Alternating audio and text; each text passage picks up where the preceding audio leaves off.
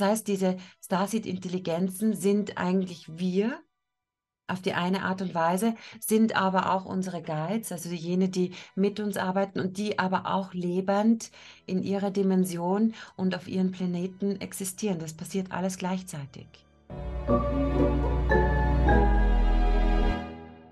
Liebe Freunde, willkommen zurück. Bei mir ist Birgit Fischer, eine Frau, die medial die Welt wahrnimmt, eine Frau, die schon in ihrer Kindheit sehr krank wurde, um zu verstehen, dass wenn wir Menschen unsere Innenwelt, unsere Seelenwahrheit nicht sprechen oder nicht leben, der Körper dann nachfolgen muss.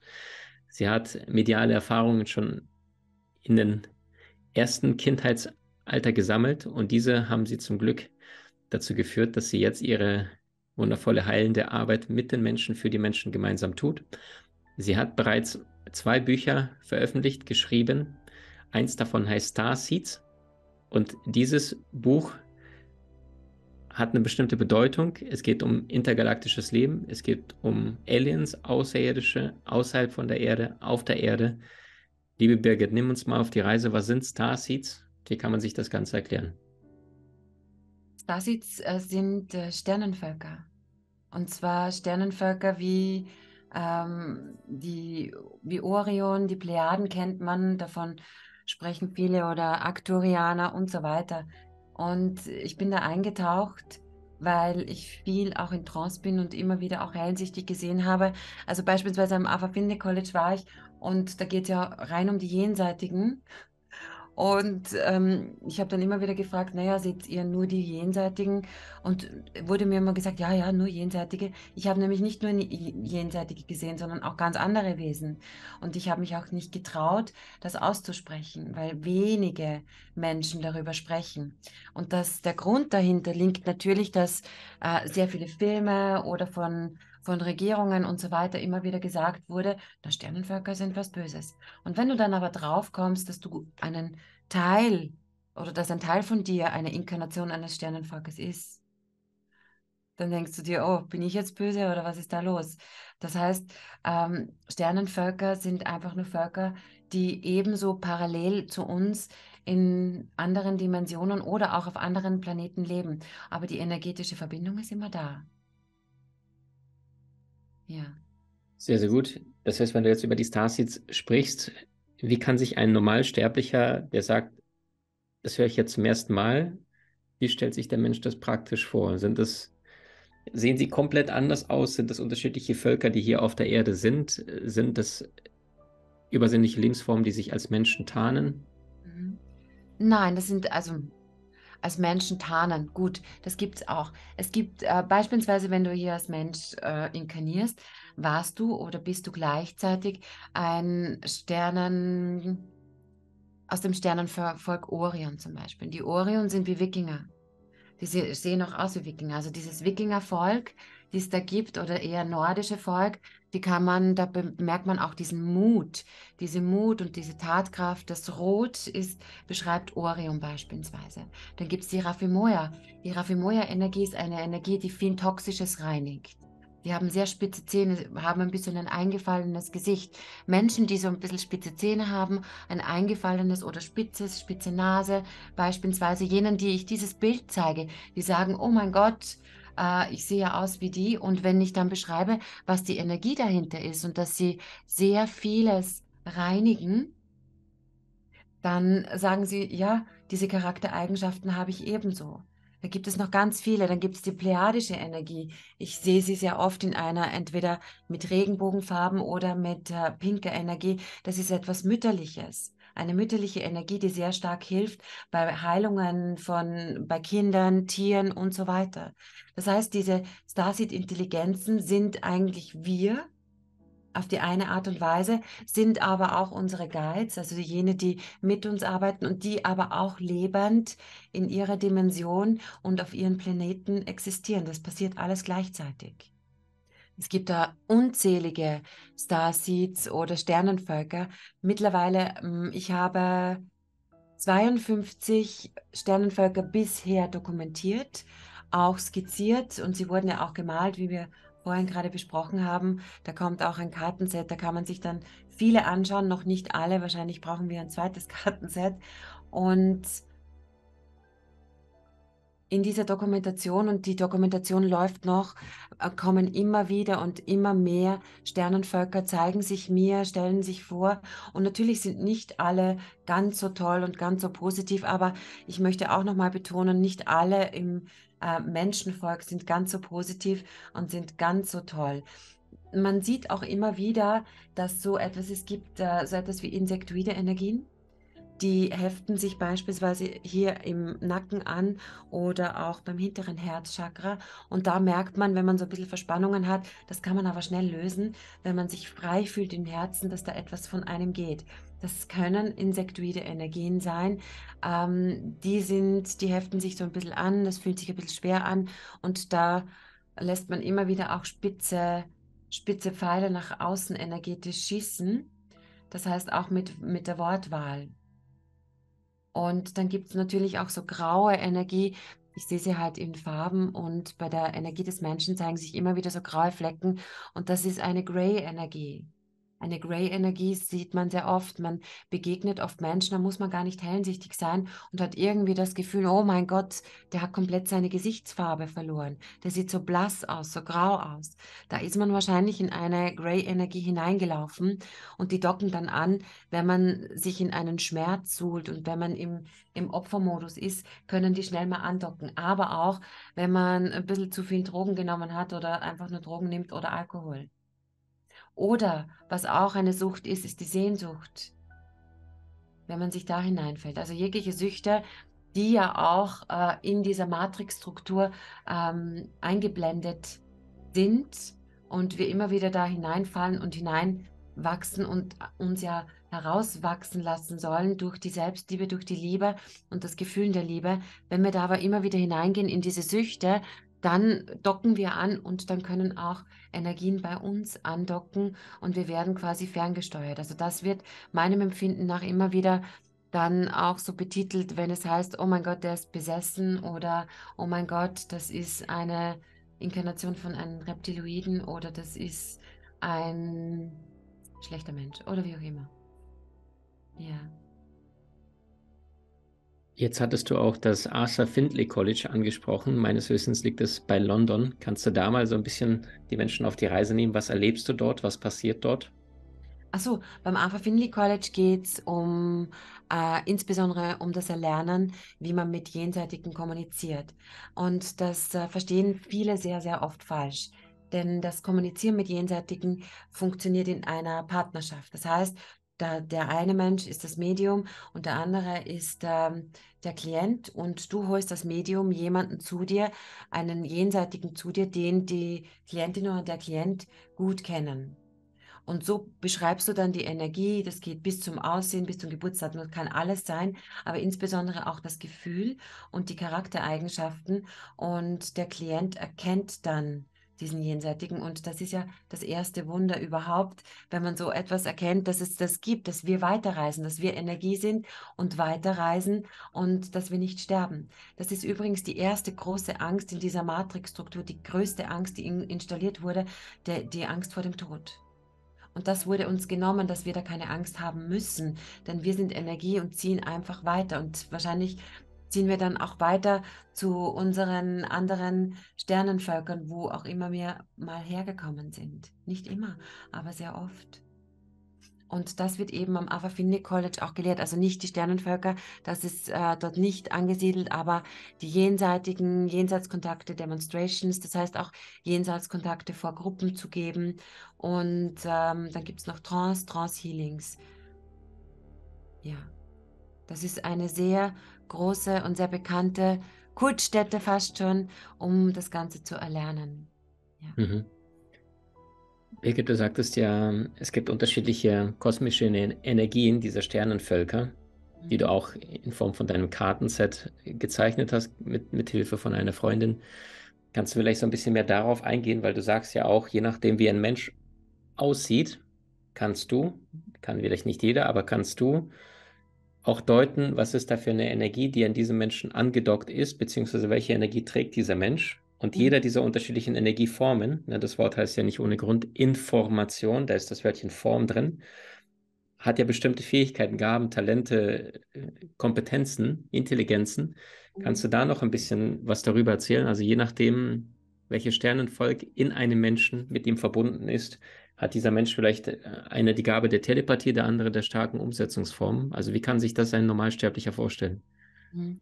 Ich möchte nicht nur sagen, dass es eine ist, sondern es ist immer eine Kombination von sehr vielen. Und meinem Empfinden nach, dadurch, dass der Mensch immer wieder durch Entwicklungen hindurchgeht, zeigt sich immer eine unterschiedliche Art der Ausprägung. Wie vorhin schon erwähnt, die Rafimoya-Energie ist eine Energie mit den spitzen Zähnen, die abnagt, aber die nagt das Negative ab.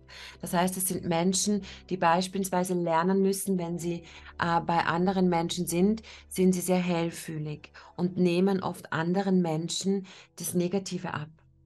Und im Laufe der Zeit werden sie lernen, dass sie das Ganze transformieren, dass sie vielleicht diese negative Energie nehmen, aber dann wirklich auch wieder abgeben und reinigen. Das heißt, gleichzeitig den anderen Menschen reinigen und auch sich. Und das sind auch genauso jene Menschen, die so Toxisches von der Natur nehmen. Also auch Einflüsse, die nicht ganz natürlich sind und von Bäumen abnagen, ganz automatisch energetisch mitnehmen und transformieren. Dann gibt es die Migroa-Energie. Das ist eine Energie, die derzeit auch sehr intensiv präsent ist und die befeuert regelrecht die Hellsinne. Das ist ähm, die Farbe Violett und viele, wenn sie diese diese Energie sehen, also auch hellsichtig sehen, in Träumen sehen oder in Trance sehen, dann ist es so, dass sie sagen, okay, da war gerade Gandalf, und das kann ich auch nachvollziehen, weil diese Energie sieht auch aus wie Gandalf, nur in Violett.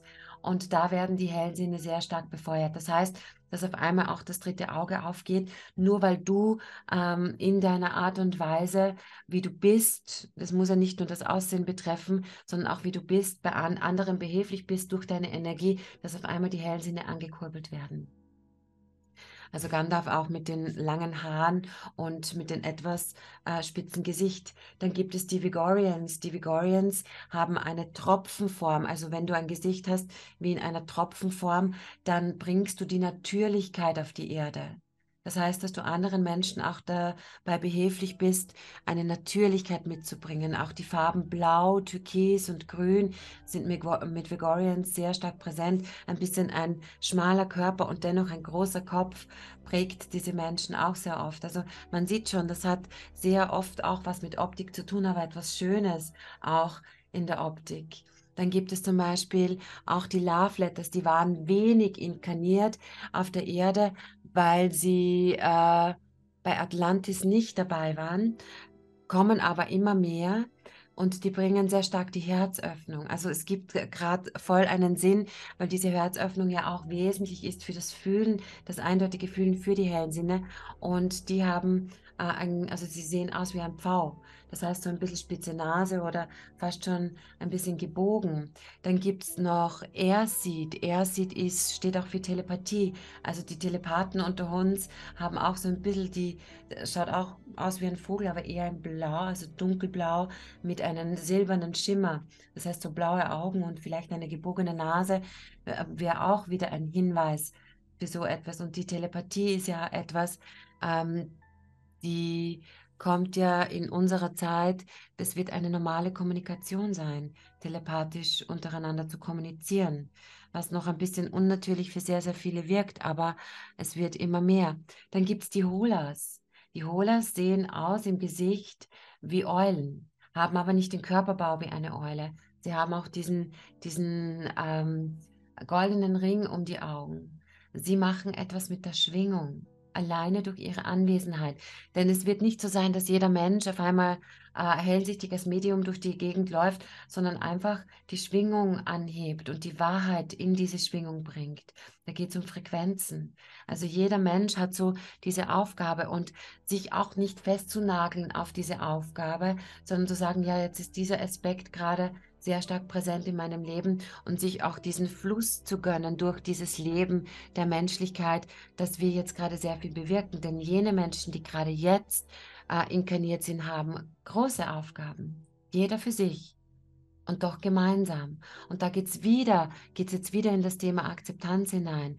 Also da, wenn wir uns gegenseitig dann auch so erleben, dass dieser Aspekt gerade präsent ist bei dem und das auch interessant finden und in diesen Forschergeist in, hineintauchen, dann werden wir auch erleben, dass es einfach nur eine Freude ist, uns gegenseitig zu beobachten, zu erleben in dieser Liebe, in dieser Akzeptanz und dann dann ist dieser Neid nicht mehr da, dieses Konkurrenzdenken nicht mehr da. Und alleine das Gefühl, wenn ich darüber spreche, ist ja etwas Wundervolles. Dieses mit eins anders ergibt da einfach auch einen Sinn.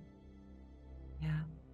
Sehr, sehr wertvoll. Also du sagst auch, dass die Menschen, die jetzt gerade hier auf diesem Erdball sind und auch diese massive Energiebeschleunigung, dieses gemeinsame Durchschreiten in die neue Dimension, und das merken auch sehr, sehr viele Menschen, die vielleicht in 50er, 60er, 70er, 80er Jahren geboren sind und jetzt plötzlich merken, dass die Qualitäten, die damals ausreichend waren, ja, vielleicht fleißig und äh, gute Noten und so ähnliches, dass das im Berufsleben schon lange nicht mehr funktioniert, dass in den Beziehungen viele auseinandergehen, weil sie einfach spüren, dass sie, wenn der eine Partner stehen geblieben ist, einfach energetisch nicht mehr diese Anziehung da ist. Also es wird sehr, sehr viel bei uns transformiert aufgebrochen. Ich glaube, das können sehr, sehr viele Menschen bei sich auch merken, dass die Zeit sich energetisch beschleunigt und wir immer mehr merken, was bin ich, was bin ich nicht. Also auch dieses Wassermannszeitalter sehr, sehr viel aufdeckt und aufreißt.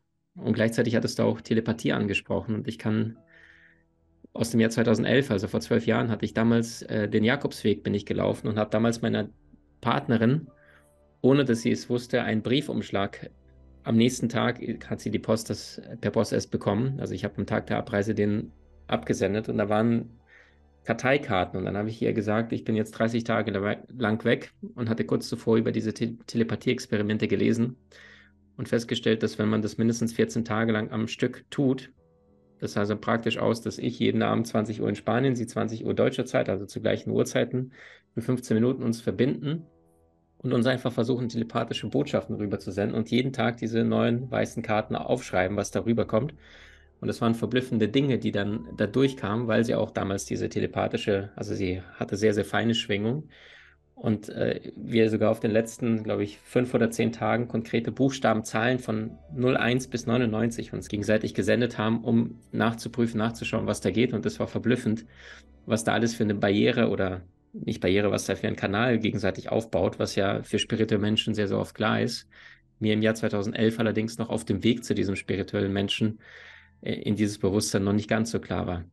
Birgit, wir leben in einer faszinierenden Zeit. Ähm, wir haben ja sehr, sehr viele Brandherde, ob das jetzt in Taiwan ist und China, Russland, Ukraine, NATO. Also es sind sehr, sehr viele Dinge, die die Menschen gerade, die Inflation, die sehr, sehr hoch gegangen ist, die allein weltliche Probleme sind, wo viele Menschen vielleicht diese Unsicherheit verspüren. Wie nimmst du das Ganze wahr? Wo sollten sich die Menschen vielleicht vorbereiten? Wo sagst du, ist sehr, sehr viel, was hochgekocht wird durch die Medien, was allerdings uns gar nicht ereilt? Und wie ist es bezüglich des roten Knopfs, wenn viele dann sagen, Wladimir Putin könnte irgendwann dann durchdrehen und dann eine Bombe werfen auf Deutschland, Europa, NATO, Ukraine, wie auch immer? Oder sagst du, es gibt außerirdische Intelligenzformen, die genau das verhindern würden? Weil sowohl die Vereinigten Staaten als auch die Russen meines Wissens nach auch mit außerirdischen Lebensformen im Kontakt sind, die Regierungen. Also die wissen voneinander, aber die Weltbevölkerung wird davon ferngehalten. Mhm. Das heißt, wird außerirdische Lebensform sagen, nein, das könnt ihr nicht bringen, das könnt ihr nicht machen. Und wenn doch, dann verhindern die das, weil mhm. deren Technologien unseren überlegen ist? Ähm, beides. Ich höre zu. Und zwar, äh, was ich gehört habe bei deinen Fragen ist, ähm, erstens mal, da ist eine Krankheit bei Putin offenbar.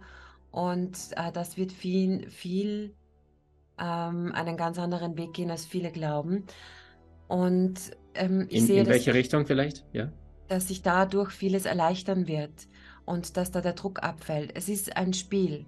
Und zwar, es ist ein Spiel, äh, wo viele von uns nicht mehr mitmachen. Und dadurch, dass wir wirklich auch in das, dieses Fühlen hineinkommen, lassen wir uns nicht mehr gefallen, dass so mit uns gespielt wird. Denn das ist ein Spiel mit der Angst. Viele wussten oder viele wissen einfach auch, dass da gespielt wurde in jeglicher Hinsicht, auch in der Vergangenheit. Und das Spiel mit der Angst und mit Krankheit und mit Tod und was weiß ich, was alles, was uns da präsentiert wurde, entsprach nicht ganz der Wahrheit. Und diese Wahrheit, was auch den Krieg betrifft, ähm, wird abermals hochkochen, aber dieser rote Knopf wird nicht gedrückt werden. Und meinem Empfinden nach haben alle, und man darf auch Österreich übrigens nicht unterschätzen, warum sitzt hier so ein riesen Secret Service, ja, ähm, darf man, das ist nämlich sehr, wird sehr unterschätzt, auch energetisch. Also diese Remote View sind auch in Österreich sehr stark präsent. Und auch die Spiritualität ist, wird hier nur sehr langsam ausgerollt. Ähm, und was jetzt diesen roten Knopf betrifft, ich kann das nicht sehen, was da ähm, publiziert wird. Nur was ich sehen kann, dass mit dem Wetter gespielt wird. Und zwar sehr eindeutig. Das heißt auch genau auf diesen Landflächen, wo, wo es sehr trocken war, dass dieses Wasser wirklich alles wegschwemmt, weil sich auch vieles unter der Erdoberfläche abspielt. Und natürlich auch die Dimensionstore da ein, eine große Rolle spielen, weil diese Unterstützung, außerirdische Unterstützung und beziehungsweise das Herantreten durch diese Tore und Dimensionstore, die ja nicht in der Luft sind, sondern in der Erde, da kannst du wirklich jetzt beobachten, da geht es um Territorien. Und nur darum geht es, auch in der Ukraine übrigens. Sag mal noch zwei Sätze dazu. Es geht um Territorien. Und zwar, es geht um, um jene Territorien, wo man Ein- und Ausgänge findet, damit einen unterstützt wird. Und es geht darum, dass diese, dass diese Portale nicht für die Öffentlichkeit sichtbar werden. Da gibt es Portale beispielsweise in Russland, also mich führt jetzt gerade energetisch nach Russland, da gibt es äh, im Iran, auch im Irak, da gibt es ähm, Ukraine, ähm, Italien, äh, USA, Tai Taiwan sind wir eh wieder dort, China. Also überall gibt es diese Portale äh, und auch in England übrigens. Und diese werden sehr stark beschützt. Und Arktis, Antarktis und so weiter und so fort. Also das sind nicht nur Portale, sondern bei diesen Portalen werden Forschungen durchgeführt. Und bei diesen Forschungen ist es so, dass soll die, die Weltbevölkerung nicht wissen, weil wenn das die Weltbevölkerung wirklich weiß, da geht es nicht um Angst, sondern da geht es um Befreiung. Dass wir gar nicht zu klein sind und dass wir sehr groß sind und dass wir diesen Ursprung haben und dass wir miteinander arbeiten könnten. Also da geht es nicht nur um die Unterdrückung der Menschheit, sondern auch die, um die Unterdrückung der Sternenvölker. Und in diesen Portalen, die jetzt auch ne, auf dem Südpol sind und durch die Welt verteilt, wie kann sich das ein Normalsterblicher vorstellen? Ist es unser Tor, wo wir mit außerirdischen Intelligenzformen in Kontakt treten? Ist es etwas, wovon Einstein schon gesprochen hat? Sind das schwarze Löcher, dass wir Zeitreisen damit? Äh, ich, also mich führt zu Tesla, nicht zu Einstein. Und äh, dass Tesla das sehr wohl bereits äh, dokumentiert hatte. Und da ist ja auch einiges geschehen, wenn man sich die Geschichte ansieht. Und dass das sehr wohl schon praktiziert wird in jeglicher Art und Weise. Was auch genau? Die, auch die Produktion von Energie, dass das freie Energie, dass das einfach ganz einfach möglich ist. Und dieses Zeitreisen bzw. Reisen zu anderen Sternenvölkern, das ist alles möglich. Auch dass die Technologie bereits präsent ist, dass wir oder viele auf der Erde das schon wissen und diese Technologie bereits nutzen. Und dieses Zurückhalten dieser Informationen und dieses energetischen Wissens einfach nur darum geht, dass wenn wir das wissen würden, dass wir nicht so profitabel sind für sie, die das nutzen. Sehr, sehr gut. Birgit, da sind noch ein paar kleinere Fragen. Ich frage relativ kurz auf den Punkt und der Antwort ist auch relativ kurz auf den Punkt. Machen wir es so?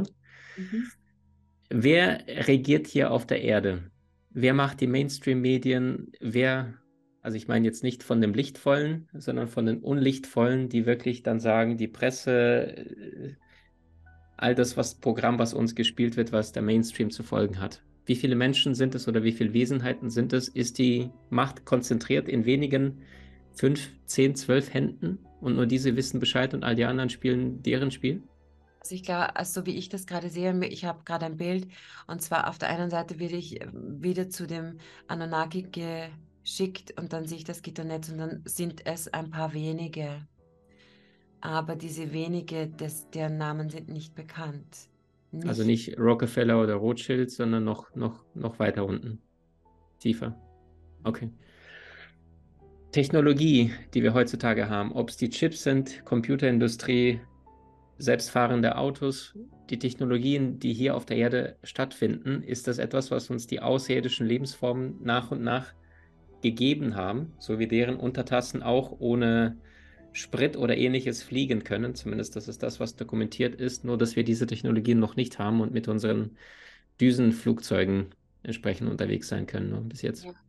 Also dieses, dieses Fliegen, äh, die fliegenden Autos habe ich schon gesehen, die sind auch dokumentiert im ersten Buch. Ähm, das ist ein Wissen, das langsam zu uns kommt. Also es kam ja, kamen ja immer wieder Eingebungen bei Menschen und genau das hat sich dann auf der Erde ähm, gezeigt. Also das kommt auch alles langsam. Das heißt, Technologien, die hier auf der Erde sind und jetzt wie Computerentstehung 60er, 70er, 80er Jahren, das ist etwas, was uns von Außerirdischen gegeben worden ist. Mhm. Chips und so weiter. Ja, ja. nein? Ja. Okay, das ist, das heißt, da gab es nicht irgendeinen genialen Wissenschaftler, Mathematiker, der so ein super Brain hatte, sondern das war komplett neue Ebene. Das kann nicht ein Mensch weiterentwickeln, sondern da musste komplett etwas Neues ihm gegeben werden. Ja, genau. Okay. Die Entwicklung der Erde in den nächsten 50, 100, 200 Jahren. Was ist da anders als das, was wir heutzutage unsere Standards nennen? Was ist in 50 Jahren? Nehmen wir 2073. Was ist da anders als das, was wir heute noch nicht kennen? Freie Energie. Das sehe ich ganz deutlich. Also ich sehe diese, diese Türme auch ganz stark. Und die Sonne sieht anders aus. Also der Himmel sieht auch anders aus. Haben wir einen Polsprung, also wirklich Umkehr von Nordpol, Südpol bis dahin erfahren, erlebt? Oder sagst du, nur das elektromagnetische Feld verändert sich, aber die Erde dreht sich genauso wie vorher? Die Erde verändert sich auch in ihrer Stellung, aber nicht, dass, dass das kippt, sondern das ist ähm, eine elektromagnetische Veränderung. Und die spüren wir ja jetzt schon bereits sehr stark.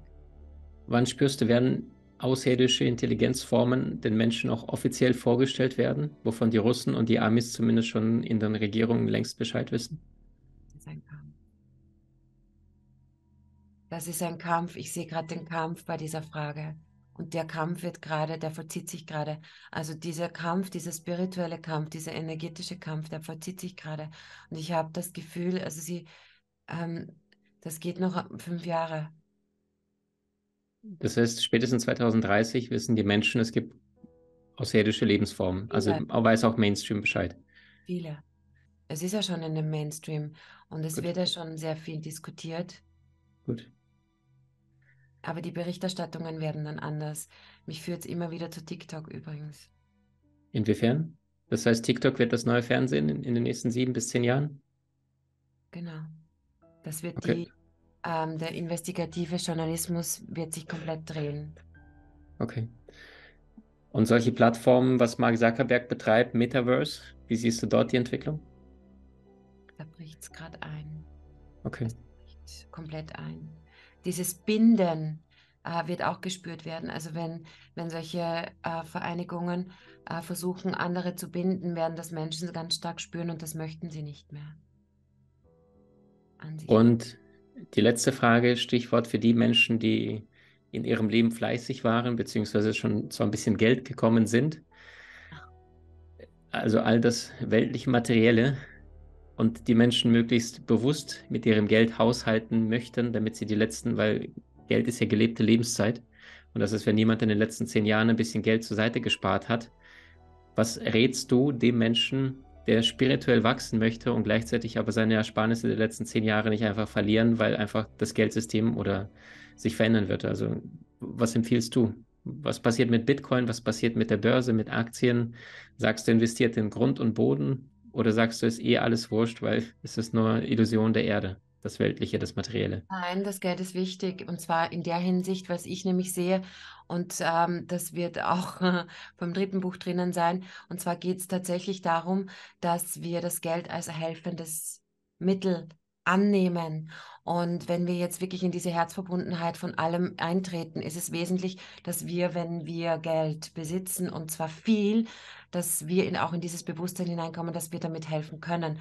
Und wenn du viel angespart hast, ähm, wirst du, wenn du dich da in diese Herzverbundenheit und die Herzlichkeit hineinfallen lässt und nicht nur schaust, wie du dein Geld schützt, sondern es auch weitergibst und zum Beispiel Spendenaktionen startest, wirst du geführt und geleitet werden zu genau richtigen, dass du zum Beispiel andere bei der Revitalisierung hilfst von Gebäuden, dort investierst oder dass du ihnen hilfst, etwas aufzubauen und so weiter. Also dieses Werteverständnis und Wertebewusstsein wird genau dorthin geführt und nicht, wie kann ich mein Geld horten, sondern wie kann ich es vermehren und zwar auf eine andere Art und Weise, wenn ich es unter die Menschen gebe.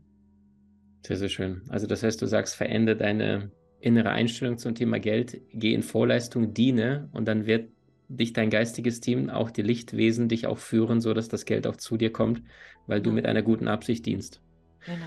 Sehr, sehr wertvoll. Sagt Birgit Fischer, wenn dir die Folge gefallen hat und du sagst, hey, wow, da gab es einige Botschaften, die hast du so in der Form noch nicht gehört oder du müsstest dir bestimmte Passagen zum zweiten, dritten Mal anhören, dann fühl dich frei, wenn du sagst, es gibt Menschen um dich herum, die sollten das hören, auch auf die Gefahr hin, dass sie dann sagen, was sind das für zwei verrückte Spinner, die sich unterhalten und das auf einem der erfolgreichsten Podcasts in ganz Deutschland, Österreich, Schweiz, dann fühl dich auch da eingeladen, denn die Erde verändert sich, das ist außer Frage. Die Erde hat sich in den letzten 50, 100 Jahren massiv verändert. Und wir leben gerade zu wahrscheinlich den spannendsten Zeiten, wo wahnsinnig viel sich verändert, transformiert und in die richtige Richtung äh, sich entwickelt. Ich danke dir, liebe Birgit, dass du deine Wahrheit sprichst, dass du auch nicht dich vom Mainstream da ablenken lässt und ähm, deinen Herzensweg so entschlossen gehst und auch andere Menschen inspirierst, noch mehr nach innen zu schauen. Vielen, vielen Dank für deine Zeit. Vielen Dank.